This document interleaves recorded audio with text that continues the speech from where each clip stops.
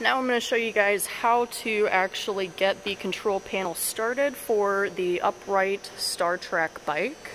So I'm seated and my feet are in the pedals and I've started pedaling so you can see it turns on on its own and the start screen is there ready for you to choose your program. I just do quick start.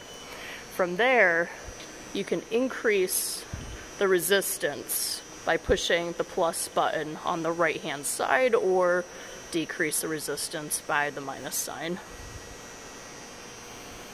In order to stop the bike, you just stop pedaling and it will pause or eventually shut off on its own. Right there.